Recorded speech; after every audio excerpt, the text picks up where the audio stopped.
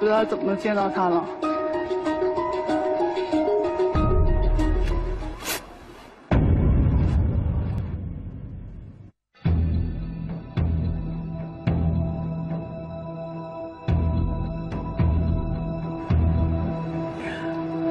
我我我已经没有头发了，我不知道怎么才可以再见到他了。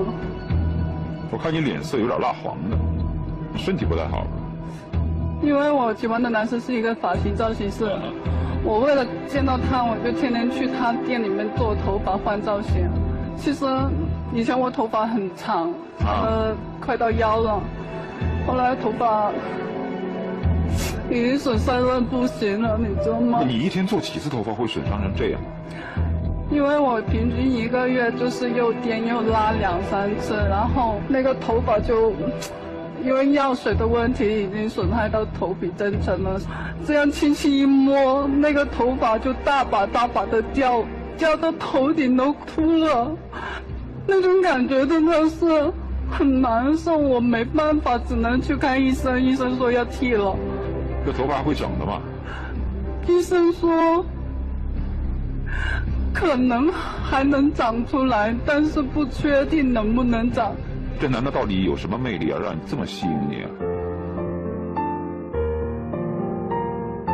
就是每次聊天的时候，都会让我心跳加速。我不知道你们有没有这样的感觉，就是看到一个人，就是什么都不想说，也不想做，只是看着他。看着他，然后你就觉得很开心，很开心的那种。那他知道你喜欢他吗？我不知道他知不知道。小姑娘，我觉得你别犯傻了，这样的男人真的不能要。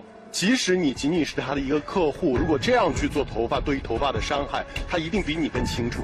他连这一点都做不到，还能做你的男朋友吗？我去他们店里面做头发的时候，不是，不是他帮我做的，不是每次都在他手上。对对，所有造型师看到我，都把我当成上帝一样。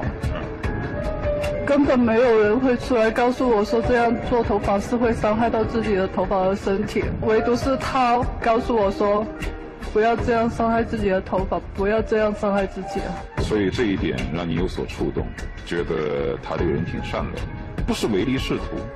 嗯，对。好。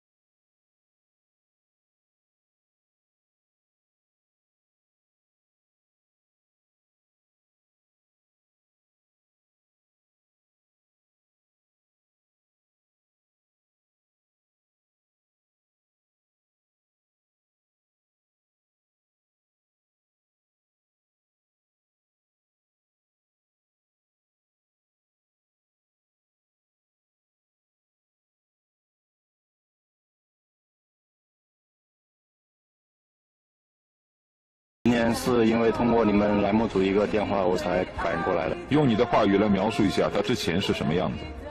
我第一次记得我是跟他做过一次头发，那时候，呃，头发还是蛮长的，还是挺可爱的一个女孩子。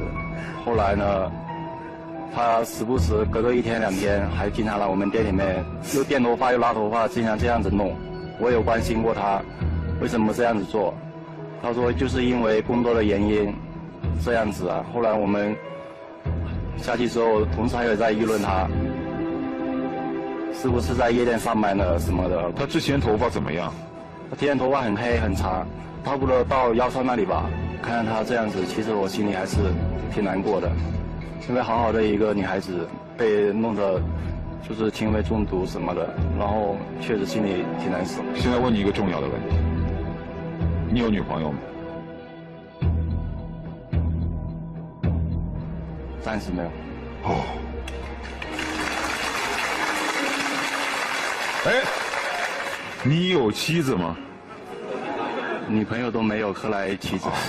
吴彦彤，现在把舞台交给你，你千万不要紧张。你熬了这么些时间，把头发都熬没了，就是为了今天这一刻。你好好把心里所有的话。